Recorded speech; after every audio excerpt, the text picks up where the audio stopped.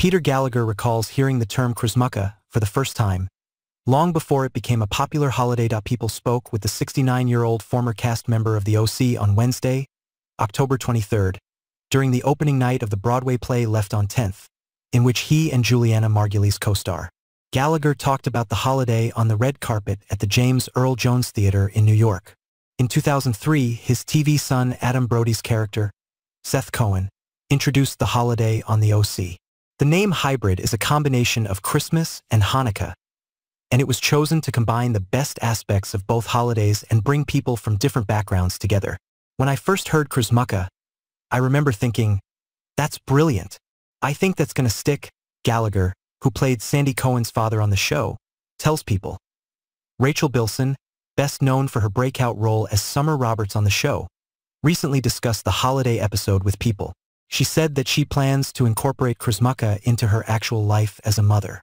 I like teaching my daughter some of the Jewish traditions and things like that.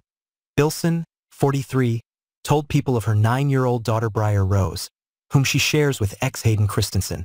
But Chrismukkah itself is like its own holiday we haven't really done. However, it appears as though this year might be the first.